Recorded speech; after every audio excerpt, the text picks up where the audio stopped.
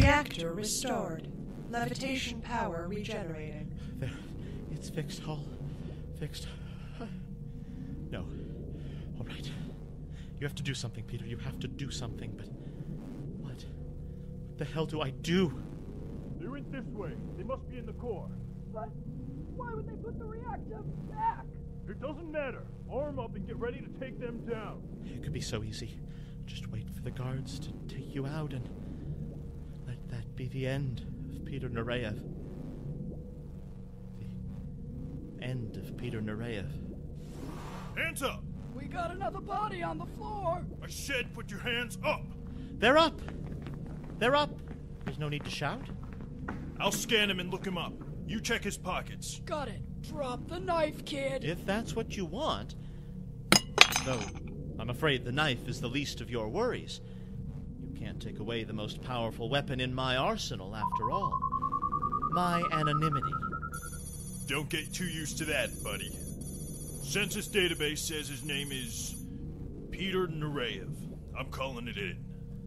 You may have found a name, Constable, but I'm afraid it won't be worth much to you. A name is but a signifier of the past, and the past is behind us. But as for the future. Officer, in my pocket you should find a pen.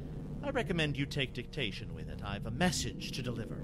You can make whatever statements you want at the constabulary. Today I've demonstrated that I can destroy New Kinshasa. Today I've decided to let it continue floating. For now. Pay attention, constables, because this is the important part. Every time you fire a laser from this city, know that I come that much closer to destroying it.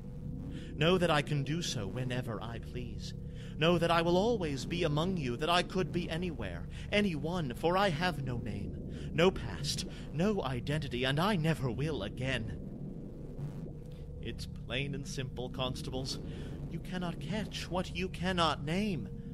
With no identity, I've nothing to tie me down. And so, when trouble arises, I can just disappear. Shut him up already! Where the hell? Where'd all the smoke come